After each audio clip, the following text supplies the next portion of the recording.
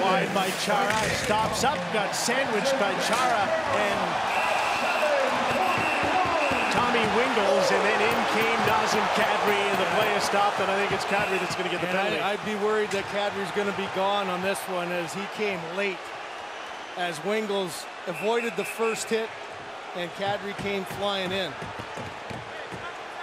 in support of Mitch Marner, who'd been hit by both Chara and Wingels. And you see Wingels gets some attention from the trainer. And Kadri gets attention from the linesman as he's ushered towards the penalty box for the second time in this period. I don't like the first call against Kadri, but I think this one, there's no question that it was deserved.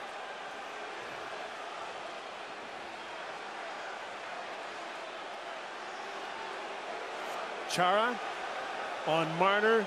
In comes Wingels. Kadri didn't like that. And so he comes after Wingels.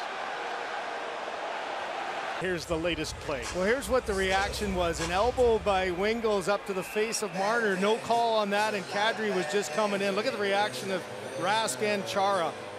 And as I mentioned, they this one ends up being a five-minute call. That I thought should have been a call on Wingels, but there's no question about this one as Kadri comes late, jumps up, and Wingels is up and back on the bench.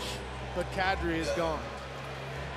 out of the game at four to one in the third period. You know that the Department of Player Safety will be looking closely at that one too. And Wingels gets his time in the quiet room after that one going down.